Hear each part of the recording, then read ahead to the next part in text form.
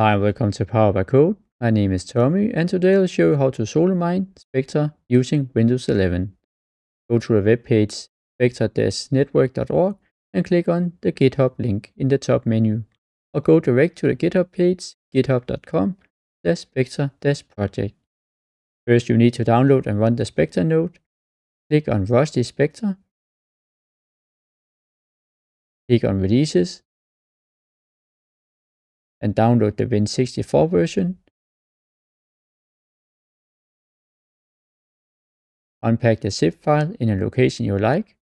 Run spectre-d.exe either by clicking on the file or open the location in terminal and write .spectre-d.exe and hit enter. The Spectre daemon will now start syncing with the Spectre network. Accept network access if you agree. The syncing process may take up to 30 minutes.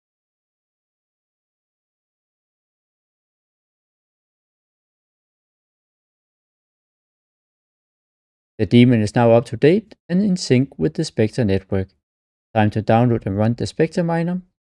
Go back to github.com slash spectre-project and click on Spectre miner. Click on releases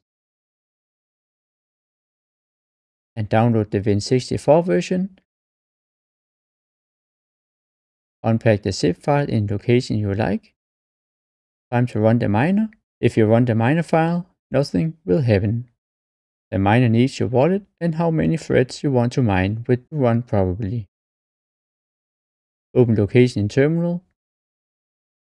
Write dot slash spectre dash miner and then add dash dash mining dash address, white space, and then your wallet.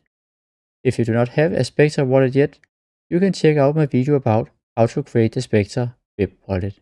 In the end, you add dash dash threads. This parameter controls how many threads you want to use when mining. I have 16 threads and want to use 12 of them for mining. I enter 12 and hit enter to start the miner. After some time, it seems that I hit around 4.6 kHz per second. Remember that the Spectre nodes need to run while you mine, otherwise the miner will fail. If you go back to the webpage spectre-network.org and scroll a bit down, you can find a calculator that will give you an earning estimate.